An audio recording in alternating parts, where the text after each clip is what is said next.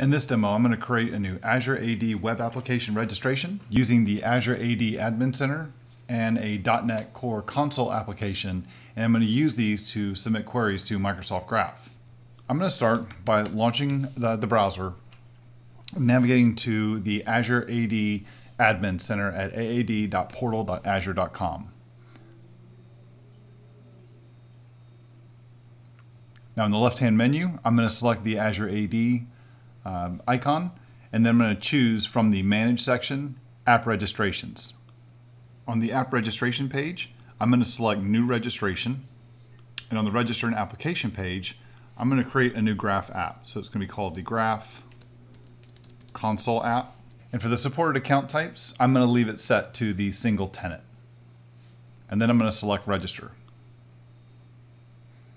Now there's a few values that you see here on this overview page that you're going to want to keep track of uh, for your application that we're going to need later. So I'm going to launch uh, Visual Studio Code just to act as a little uh, notepad for myself. I'm going to create a new file and I'm going to copy the application ID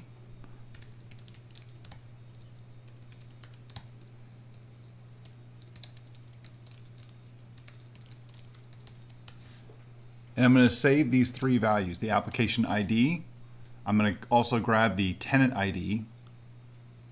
Now the next thing I need to do is I need to set up uh, a platform configuration. So I'm going to select authentication from the menu and I'm going to add a platform. And because we're building a console app, I'm going to choose a mobile and desktop applications. And in the redirect URI section, I'm going to choose the native client uh, and then select the configure button. Now, in addition, I'm going to scroll down a little bit farther and I'm going to select on for the public flows or the public, public client flows, I'm going to select yes for uh, allowing uh, mobile and desktop flows. Um, this is going to allow us to use the resource owner password credential flow, which is just a very simplified way uh, for us to handle authentication as we want to focus on the actual Microsoft Graph piece to this and not so much uh, all the details around creating different, um, supporting different OAuth flows and different access options we have with Azure Active Directory. So then I'll go ahead and select Save.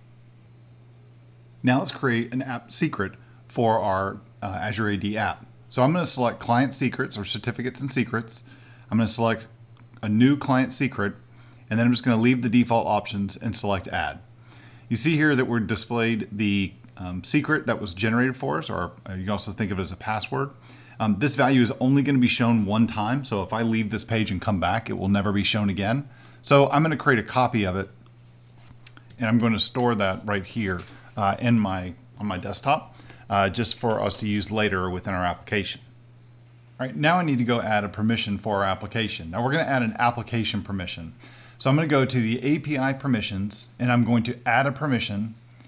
And the permission we're going to add is a Microsoft Graph application permission that you see listed over here. And I'm going to find the permission user.read.all. To go ahead and add that and say add permissions.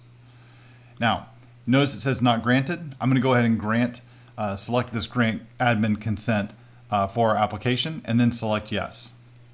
So we have our application permission all set up. Okay, now it's time for us to go create our application.